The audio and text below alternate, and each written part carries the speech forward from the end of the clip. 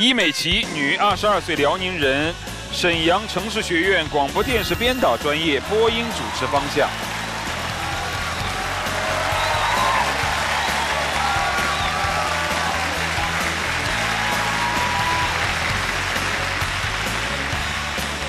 各位老师好，我叫伊美琪，是一个喜欢艺术感和质感的女生。今天来到非你莫属的舞台，想找一份有关于传媒类有发展空间的工作。谢谢。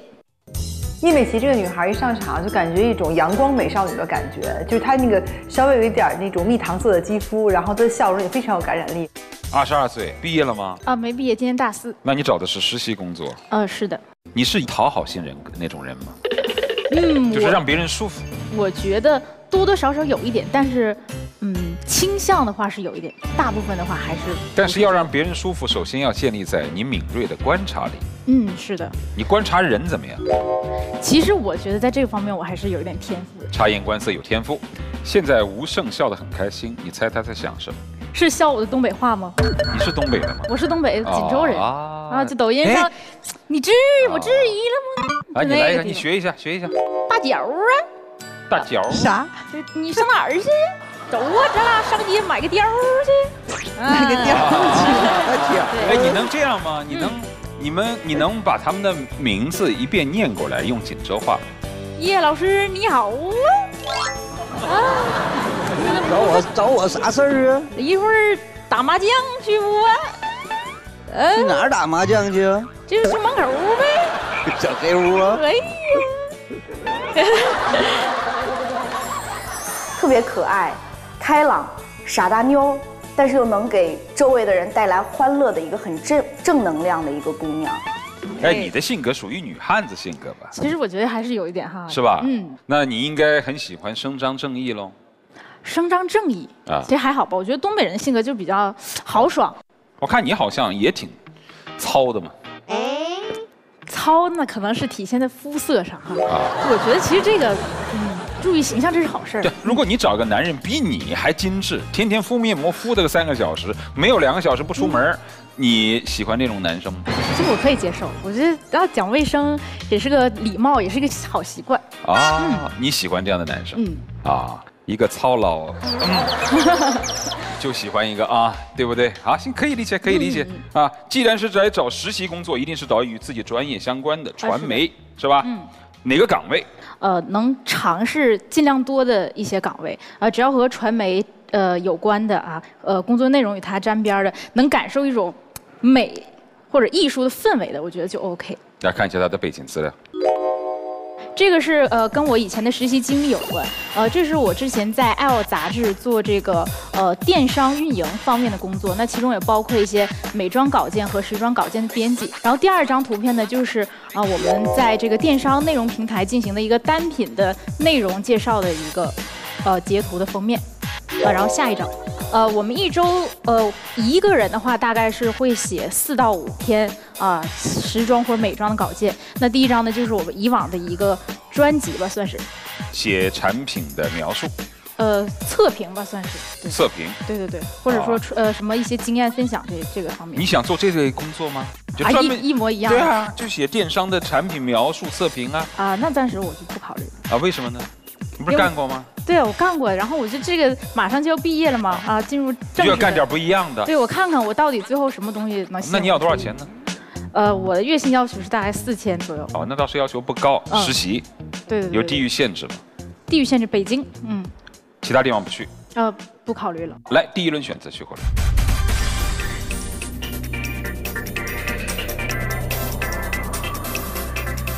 全流。天生我有才，这个我有一个特长，就是我就特别会模仿别人说话。我教大家那个一个这个说泰国话你好。那我们平时在抖音看的时候，大家可能会教就是萨瓦迪卡。老师您啊会吗？泰语的您好。OK，那我来教我们涂老师来说。还行。说一个泰语的您好啊，呃，我们不要说萨瓦迪卡，这个撒呀，要是要拐回去就撒。啊，然后那个迪卡后边呢，最好要加一个然后就是萨瓦迪卡，啊，就是这样，就是一个泰语你好。说完了。我以为你要说什么呢？哦，萨瓦迪卡，我来我家，我以为你要说这个呢。好尴尬。完了。职场情商课啊！你因为私人原因没能出席公司年会，但是你却在年会抽奖环节中得了一等奖啊！你会不会领呢？我会领的。真不要脸！一般人应该都会领。这怎么不要脸了呢？你都没去。那怎么了？人家带你领的，你应该给那个带领的人。我分他一点就是了呀。对吧？哎，你还认真想过这事儿？嗯，是啊。你是不是认真想过这事儿？是啊，我得了奖，好不容易得奖，为啥不领？因为我从小到大也没，就是那个中奖就很难中。对。瞧把这孩子可怜的，你看啊，你你怎么去领呢？反正你都没去啊，我那我就是念到你的名字，抽到了一等奖。好，我这是领奖的地方，来朝我领吧。何老师，我在年会时候抽的那个一等奖，您看。你来了吗？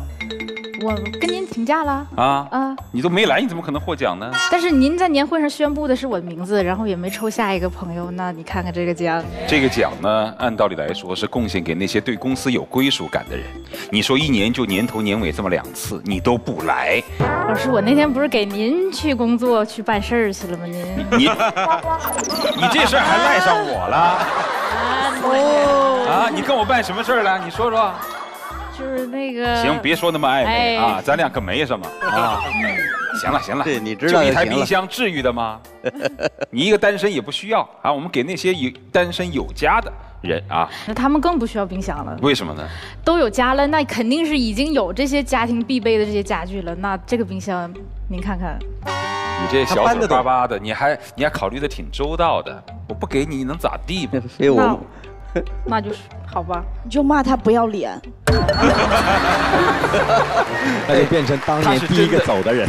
他真的是身临其境，真的认为自己拿到了一等奖。这可是 lucky 啊！其实刚上台的时候，有考虑是不是要收敛一下这种太外放的性格，呃，给人最好是第一印象稳重一点。然后后来我发现老师们对我这种啊性格的反馈，其实还是挺好的。我就想，嗯，就不在意那么多东西了，那直接就做自己就好了。美琪哈，那个有点模糊你那岗位，嗯啊，因为在做这中间，它不是这些都不是直接的传媒，它都是企业中间含有的传播岗位。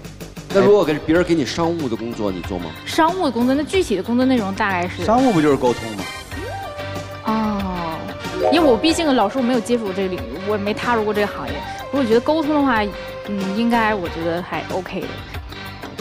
他是应该想清楚自己喜欢什么，但他未必能够想清楚他到底能干什么和能够从他这个未来的岗位中获取能量的这样的一个能力。我觉得他们说的挺对，而且我觉得这是一种幸运吧，能在这个阶段得到一些这样的建议，可能会让我避免少走一些弯路。嗯，然后也是想在呃毕业之前多多尝试自己到底适合什么样的岗位和什么样的方向。嗯。行，你要是对自己不太了解，那就把你的命运交给他们，让他们来看，你到底适合干什么，好不好？好的。第二轮选择去火轮，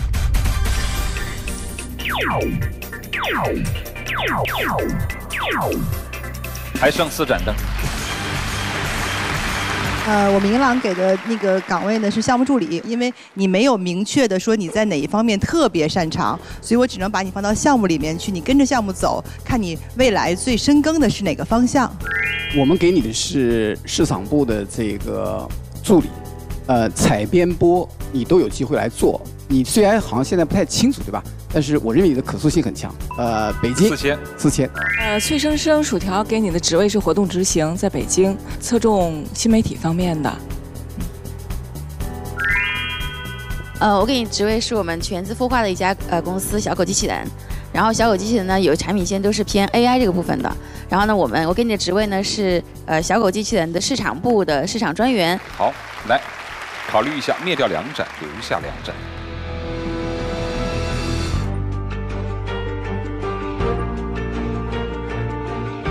谢谢老师，谢谢老师。来，有请杨蓉、赵小叶谈钱不伤感情。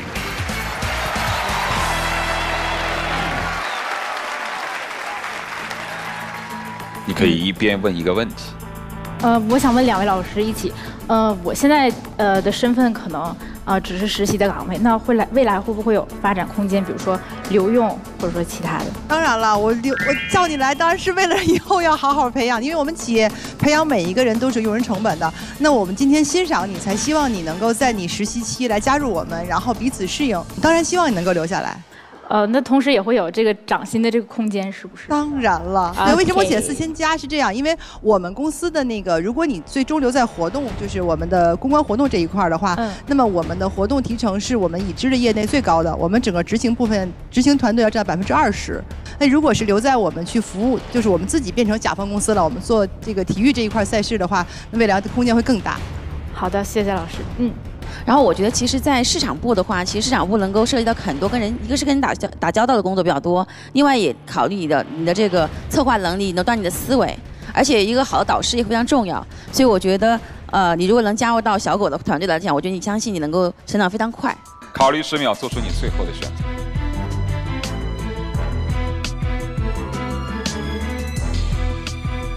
银朗，黑洞，谢谢再见。你的选择是？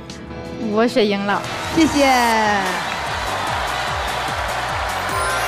哦，开心，真的是选到了自己特别喜欢的企业，我觉得特别开心，真的是找了一份自己特别满意、最理想的那个工作，我嗯，我觉得非常 OK。其实我是一个顺其自然派的人，那我们要先看一下这份工作，呃，到底呃适不适合，然后我们未来的发展是怎么样的。但我相信，我有信心能和大家好好相处，然后也会把事业闯出一片天地的。